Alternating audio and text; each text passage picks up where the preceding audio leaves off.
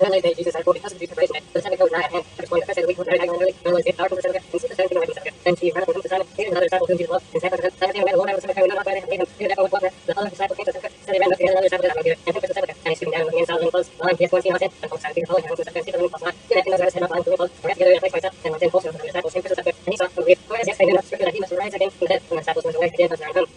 But Mary soon had a separate reading and she she stood down and looked at the and see two angels were sitting, the the head and the other the feet, with high decently. And he said unto her, Woman, why weepest thou? She said unto them, Because they have taken away my Lord, and I know not where they have laid him. And when she said this, said, she turned herself back and saw Jesus' hand, and knew not that it was Jesus.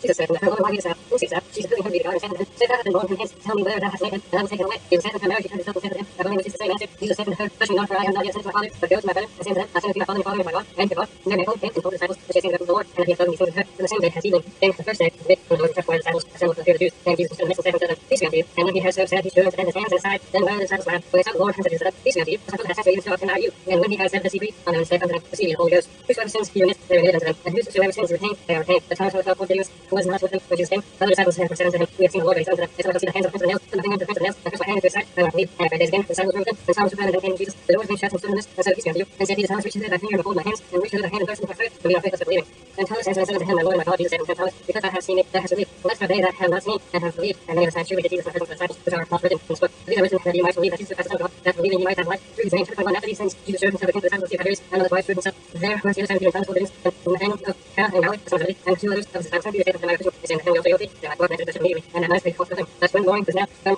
Jesus stood on the shore with the disciples leaning out of Jesus. Then Jesus said unto them, Children, have any meat? They answered him, No. And he said unto them, Cast the net on the right of the ship, and you shall find. They cast it forth, and now they were not able to draw the multitude of fishes.